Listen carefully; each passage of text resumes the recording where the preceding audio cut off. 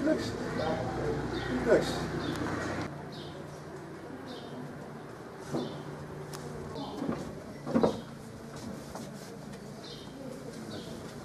Τι κάνουμε, καλά. Εσείς. Μπράβο, πάντα καλά. Δουλεύω.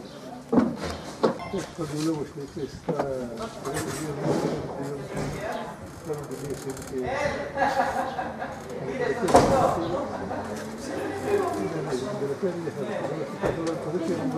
Γεια. Μπράβο, μπράβο. Κακό, τι κάνει ο παπάς σου, εσένα. του λαού μας, εν μέσω πανδημίας η ΟΕΝΓΕ συμμετέχει στην κινητοποίηση συνδικαλιστικών ενώσεων, εργατικών κέντρων, ομοσπονδιών και σωματείων. Στις 28 Τετάρτου, δηλαδή σήμερα, ε, η Ένωση μας ξεδιπλώνοντας, η Ένωση εννοώ νοσοκομιακών γιατρών ε, Λέρου, Πάτμου, Λιψών, Αγαθουνησίου, ξεδιπλώνοντας και κλιμακώνοντας την δράση, συμμετέχει ενεργά στις κινητοποιήσεις αλλά και, την, ε, και, και σήμερα αλλά και την 1η του Μάη που είναι η μέρα πανεργατικής ερ- απεργίας.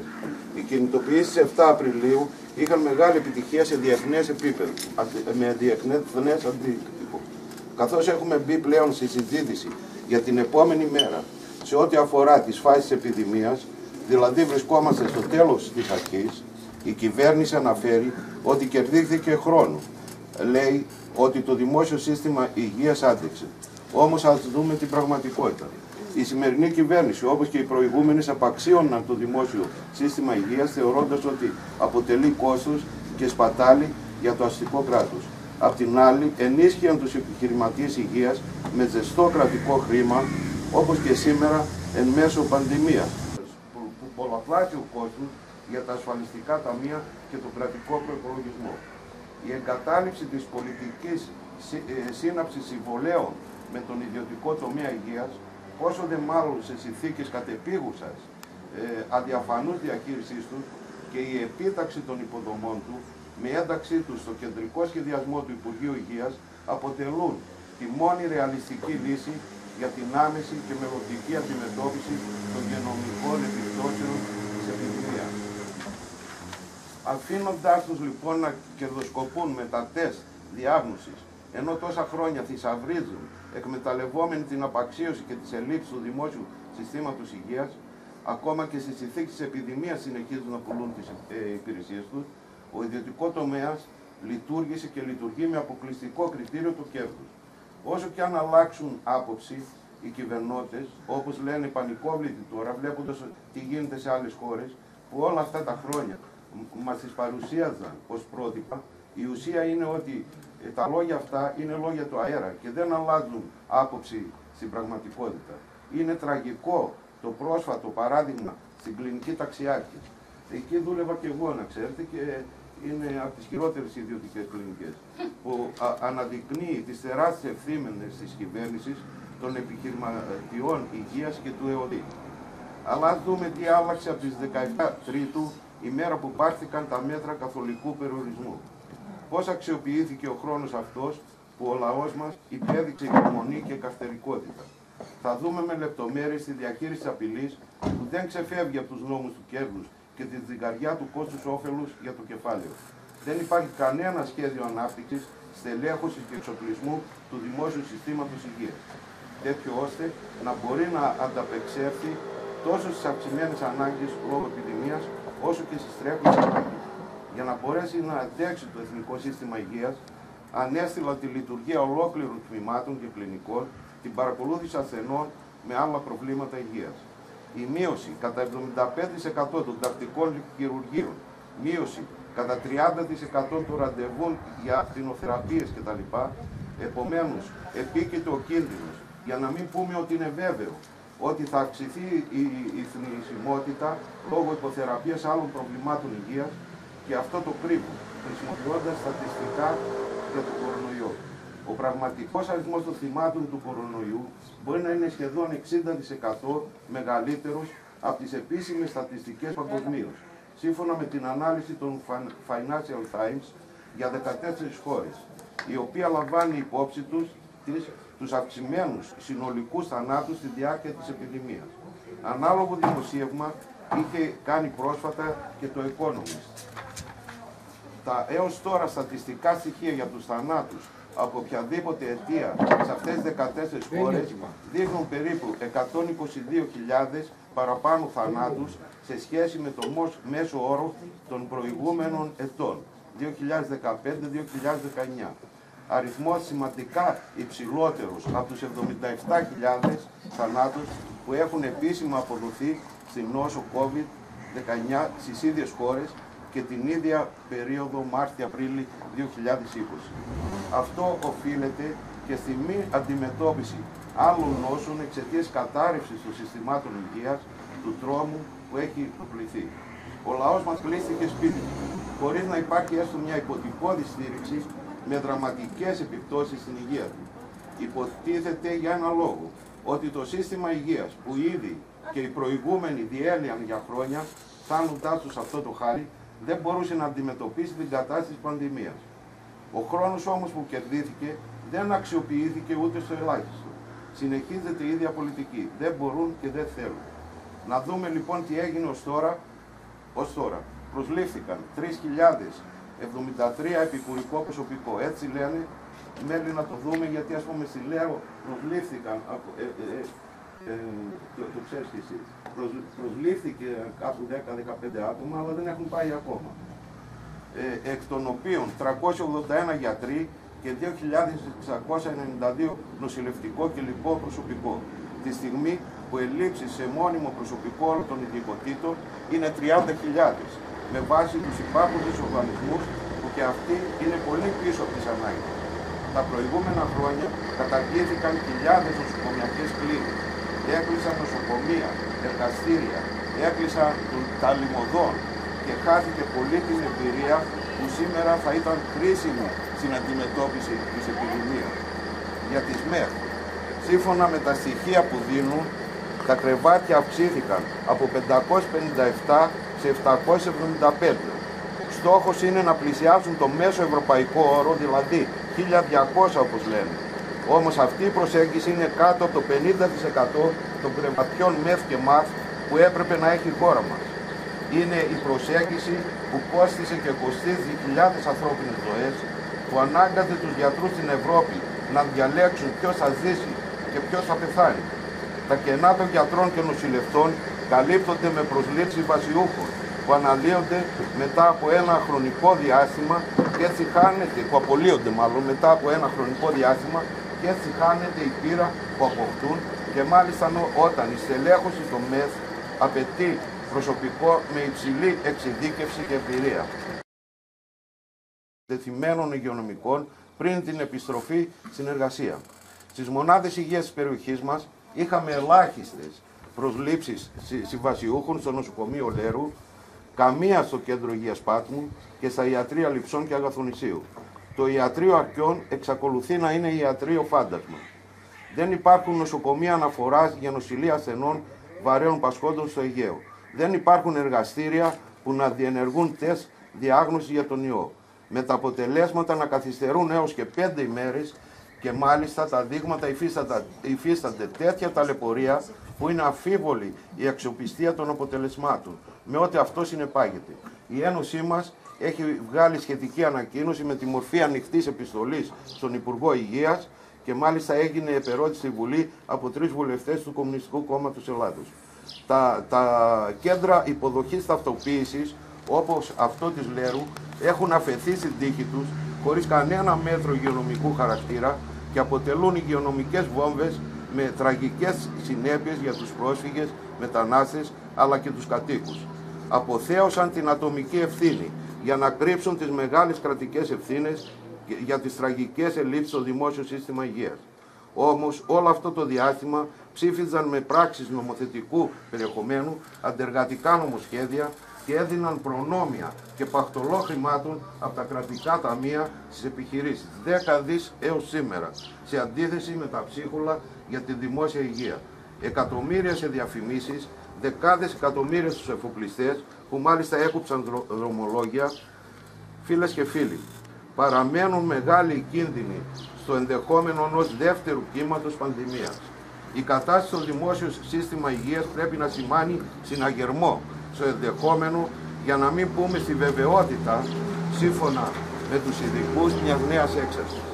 Το ερώτημα δεν είναι πότε, αλλά αν θα μας βρει έτοιμους.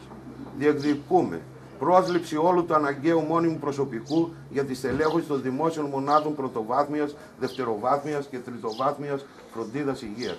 Μονιμοποίηση των επικουρικών όλων των συμβασιούχων. Μέτρα και ε, μέσα προστασίας για την υγεία και την ασφάλεια των υγειονομικών. Επίταξη υλικών, μάσκες κτλ.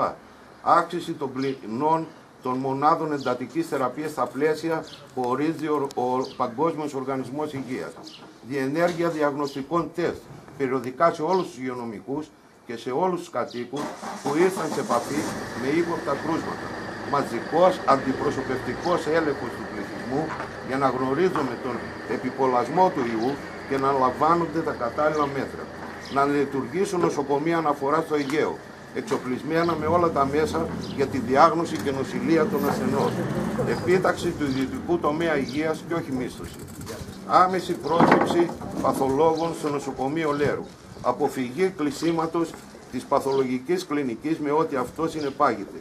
Και εδώ να κάνω μια παρένθεση, δεν είναι τραγικό το ότι το νοσοκομείο, η παθολογική του νοσοκομείου Λέρου λειτουργεί με μία παθολόγο δηλαδή ε, ε, και, η οποία είναι και παίρνει αναρωτικές άδειες δεθυμένων υγειονομικών πριν την επιστροφή στην εργασία.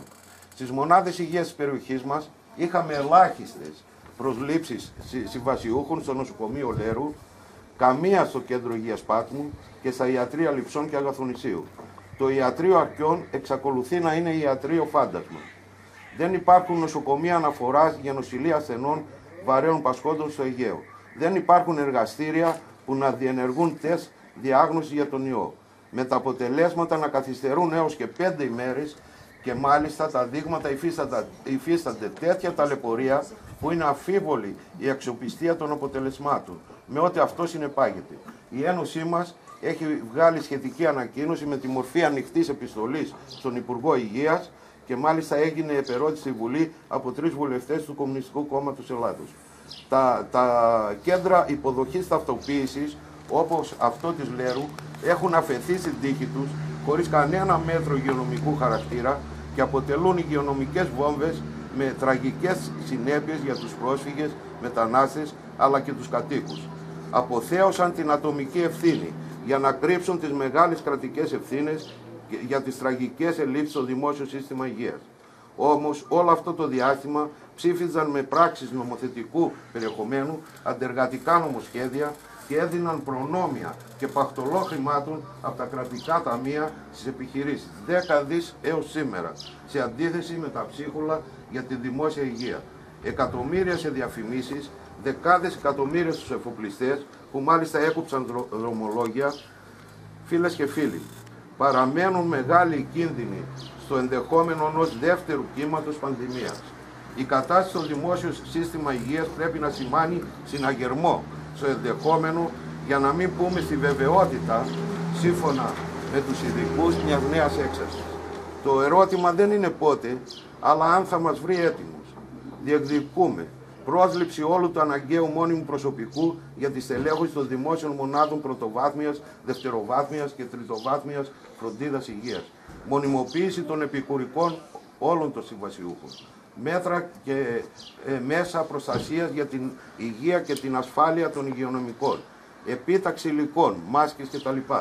Άξιση των πληνών των μονάδων εντατικής θεραπείας στα πλαίσια που ορίζει ο, ο Παγκόσμιος Οργανισμός Υγείας. Διενέργεια διαγνωστικών τεστ περιοδικά σε όλους τους υγειονομικούς και σε όλους τους κατοίκους που ήρθαν σε επαφή με ύποπτα κρούσματα. Μαζικός αντιπροσωπευτικός έλεγχος του πληθυσμού για να γνωρίζουμε τον επιπολασμό του ιού και να λαμβάνονται τα κατάλληλα μέτρα. Να λειτουργήσουν νοσοκομεία αναφορά στο Αιγαίο, εξοπλισμένα με όλα τα μέσα για τη διάγνωση και νοσηλεία των ασθενών. Επίταξη του ιδιωτικού τομέα υγείας και όχι μίσθωση. Άμεση πρόσληψη παθολόγων στο νοσοκομείο Λέρου. Αποφυγή κλεισίματος της παθολογικής κλινικής με ό,τι αυτός συνεπάγεται. Και εδώ να κάνω μια παρένθεση, δεν είναι τραγικό το ότι το λοσο- νοσοκομείο, η παθολογική του νοσοκομείου Λέρου λειτουργεί με μία παθολόγο, δηλαδή ε, α, ε, και, η οποία είναι και παίρνει αναρωτικές άδειες στα και τραγικά περιστατικά. Καλούμε όλες τις συνδικαλιστικές οργανώσεις και τους μαζικούς φορείς στο νησιό μας να ενώσουν τη φωνή τους μαζί μας. Η διεκδίκηση των ανωτέρων είναι σήμερα πιο αναγκαία από ποτέ. Η Ένωση Ιατρών Θεραπευτηρίου Λέρου απευθύνει ιδιαίτερη πρόσκληση σε όλους τους εργαζόμενους των μονάδων υγείας μας να αγωνιστούν στο πλευρό μας για ένα δημόσιο σύστημα υγείας που θα καλύπτει τις ανάγκες του λαού μας σε κάθε χρονική περίοδο και στη σημερινή πανδημία. Να, νη- να μην επιτρέψουν να μείνει κανένας ασθενής χωρίς βοήθεια, γιατί το ερώτημα, επαναλαμβάνω, δεν είναι πότε θα μας επισκεφτεί ξανά ο ιός, αλλά πόσο προετοιμασμένοι θα είμαστε και σε αυτό δεν απαντάει η κυβέρνηση. Ε, δύο λόγια για την εργατική πρωτομαγιά.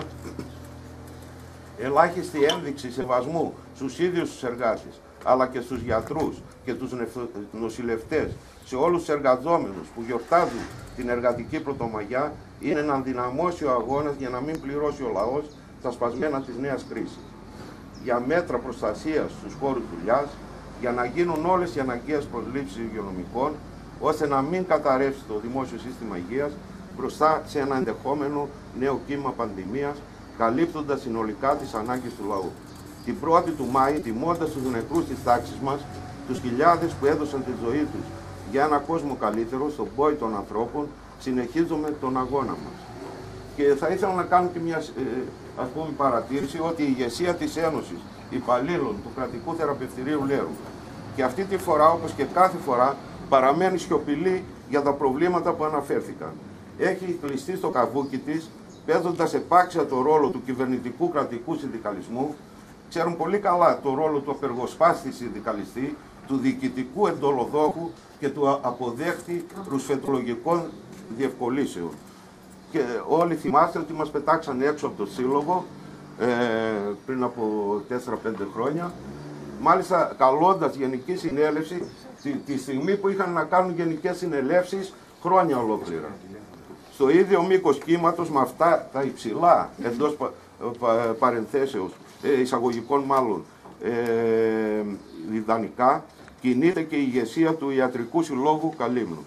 Καλούμε τους εργαζόμενους να γυρίσουν την πλάτη σε τέτοιου είδους βολικές για το σύστημα ηγεσίας, να ξεμπερδέψουν με αυτούς θέλοντάς τους στο σπίτι, σε καραντίνα και να δυναμώσουν την πάλη τους, να μην αποδεχθούν να πληρώσουν τα σπασμένα της κρίσης ξανά και ξανά, γιατί αυτό θα γίνει, α, αυτό επιδιώκουν, να προστατεύσουν το δημόσιο σύστημα υγείας από την κατάρρευση, να διεκδικήσουν την ικανοποίηση των αναγκών τους. Έχουμε και μία ανακοίνωση ε, ε, του Συλλόγου, ε, μάλλον του Σωματείου ε, Συνταξιούχων ε, Πάτμου Λιψών, η οποία λέει ότι το ΔΣ του Σωματείου στηρίζει την πρωτοβουλία των μαχόμενων υγειονομικών που πραγματοποιούν συμβολική κινητοποίηση σε 7, ε, ήταν για την προηγούμενη βέβαια, Απρίλη, πανελλαδική ημέρα δράσης στις δημόσιες δομές υγείας. Συνυπογράφει τα δίκαια αιτήματα των ενώσεων γιατρών που άλλωστε αποτελούν και διεκδικήσεις του σωματείου μας. Η επιδημία του κοροναϊού που βρίσκεται σε εξέλιξη έφερε στην επιφάνεια με τον πιο κραυγαλαίο τρόπο τις διαχρονικές ελλείψεις δημόσιας μονάδας υγείας.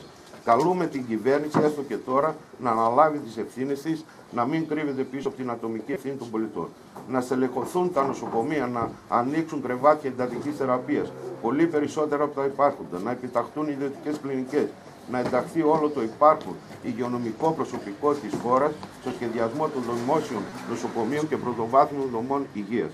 Μέσα από την όλη κατάσταση αναδεικνύονται η σημασία και η αναγκαιότητα να δυναμώσει πάλι των υγειονομικών μαζί με το λαό για αποκλειστικά δημόσιο και δωρεάν σύστημα υγείας.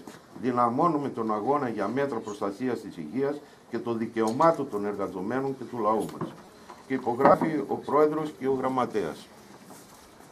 Τώρα θα μπορούσαμε να προχωρήσουμε και σε κάποια συζήτηση αν κάποιος θέλει να, να πει κάτι.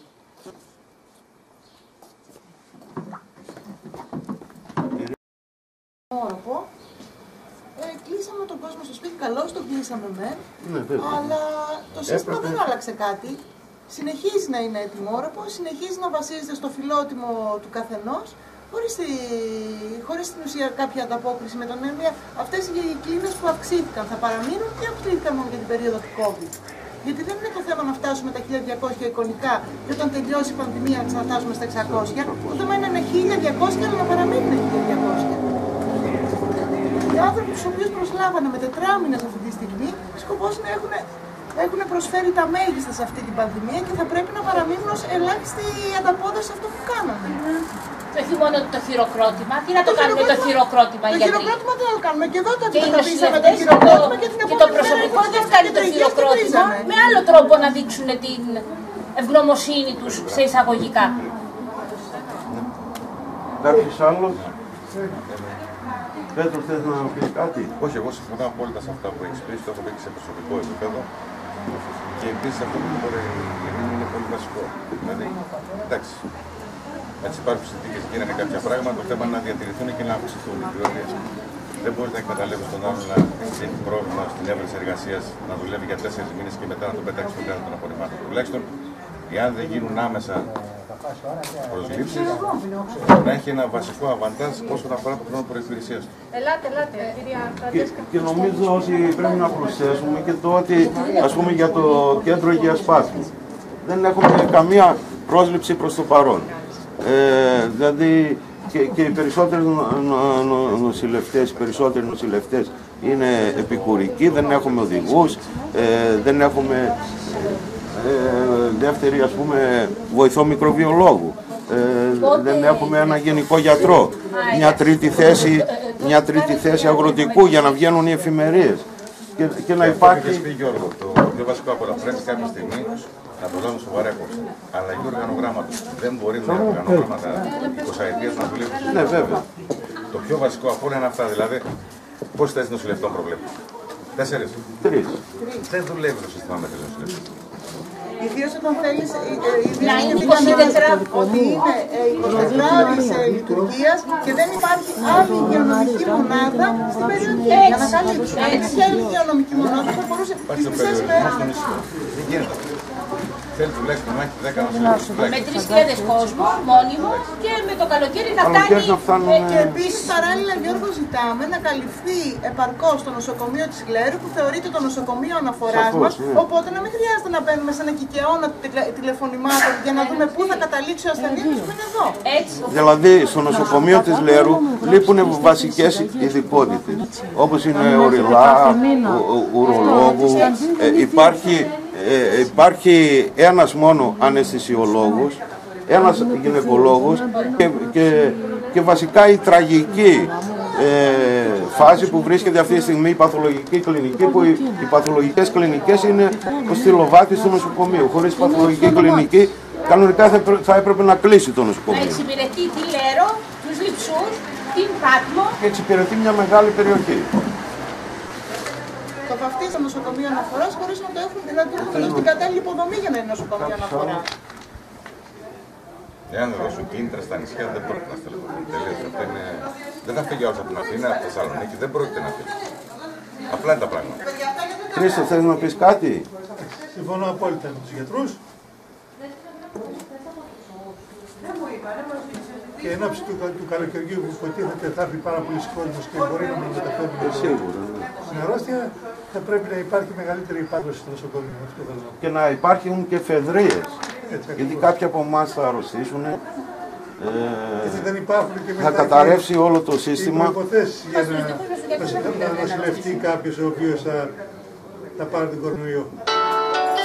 Και βέβαια και, και λένε ότι ο αγώνας κερδίθηκε από τα ποδητήρια. Ενώ είναι μπροστά μας ακόμα ένα κύμα σίγουρα.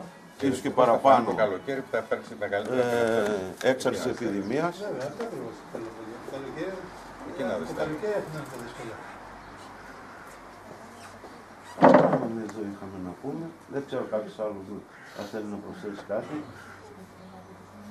Ευχαριστούμε και συνεχίζουμε. Και το βασικό, Γιώργο, ακόμα εμείς έχουμε πάρει επικουρικό προσωπικό. Αυτό δεν τα το είπαμε.